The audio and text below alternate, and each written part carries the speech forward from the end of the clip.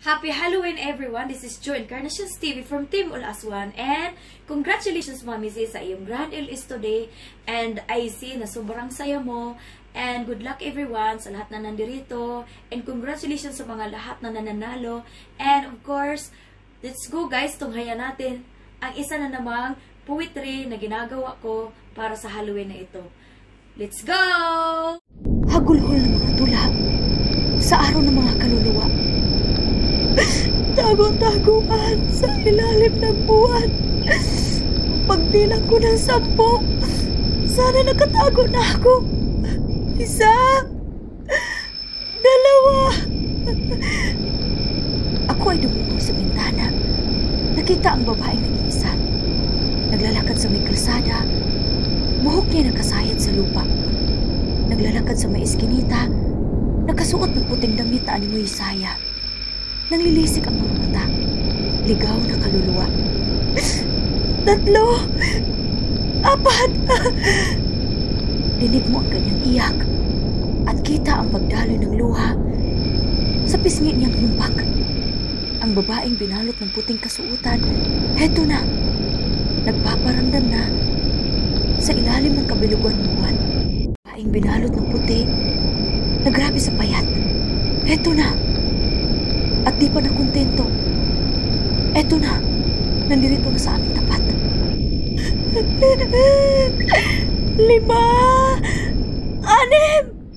Ah! Nakatingin ito sa akin. May hawak na patalim. Eto na. At patungo na sa akin.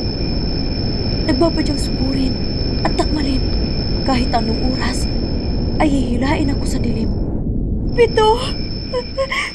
Walo! Eto na. Eto na siya sa aming pinto. Ako'y nalilito. Trangkahan ko kaya ay sarado.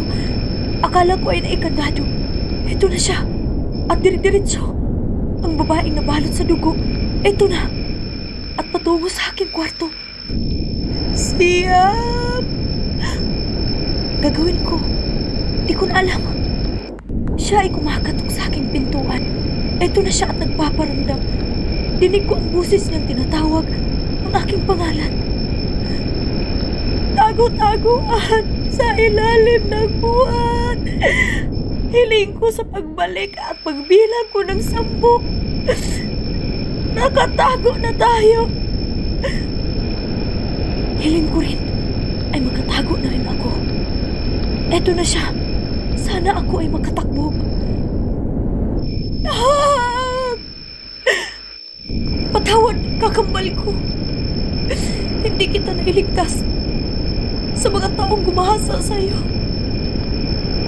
At hanggang ngayon, ako pa rin ang sinisisi mo sa iyong pagkawala. Hindi ako. Hindi ako ang nagkamali at hindi ko kasalanan. Hindi ko kasalanan na umuwi ka, na wala ako.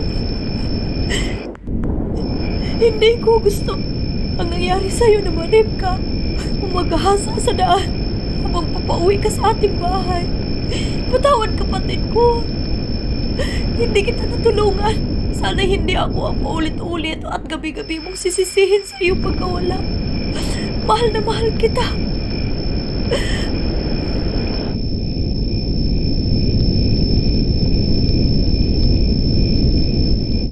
Maraming maraming salamat sa inyong panunood sa pabilisan kong ginawang poetry para sa Halloween handog sa JLS Tumami Say.